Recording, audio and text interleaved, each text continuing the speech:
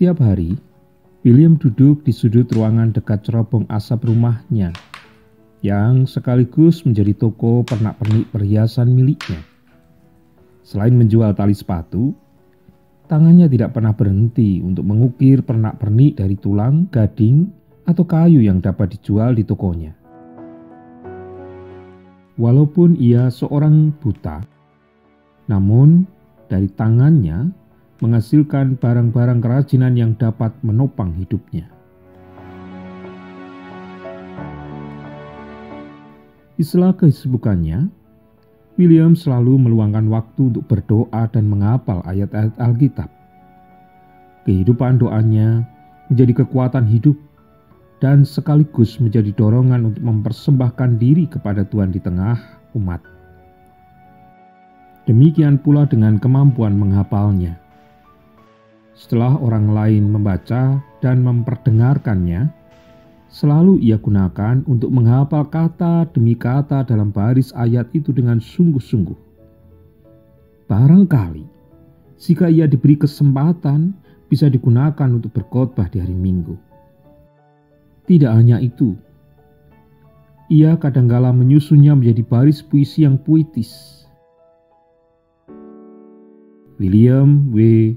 Wellport cukup dikenal sebagai seorang pengkhotbah awam buta dan ia selalu berusaha mengabdikan dirinya terlibat dalam pelayanan di sebuah dusun College Hill, Warwickshire, Inggris.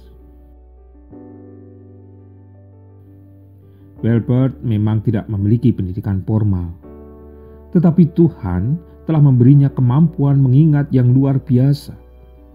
Ketika Wellport melangkah ke mimbar, Pengkhotbah Buddha itu mampu mengutip perikop kitab suci kata demi kata, menyampaikan pasal dan ayat dengan nyaris tanpa kesalahan.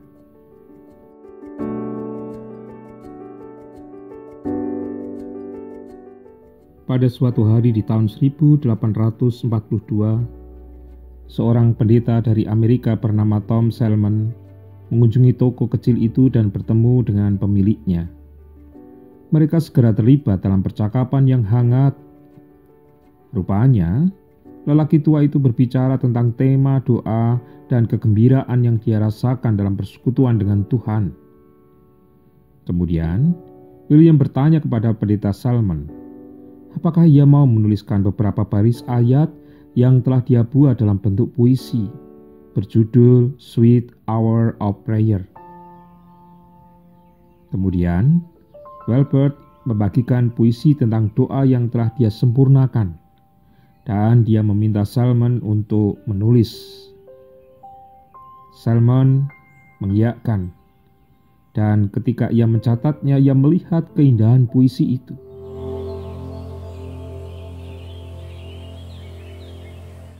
Tiga tahun kemudian, ketika Salmon telah kembali ke Amerika Serikat, yang menunjukkan puisi itu kepada editor New York Observer. Ketika mereka memperhatikan tulisan puisi itu, mereka menganggapnya layak untuk diterbitkan. Dan pada tanggal 13 September 1845, terbitlah puisi itu.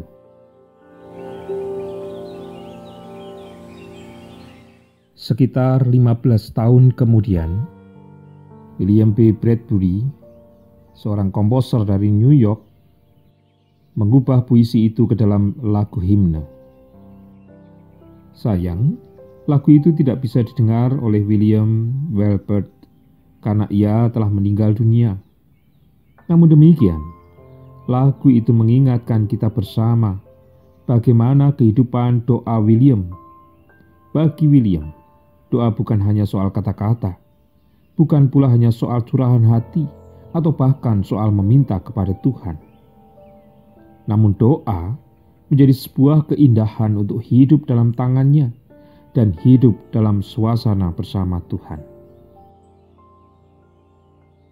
Sweet hour of prayer, sweet hour of prayer, that calls me from a world of care and bids me at my Father's throne.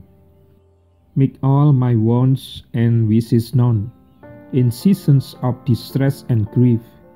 My soul has often found relief and of escaped the tempter's snare. By thy return, sweet hour of prayer.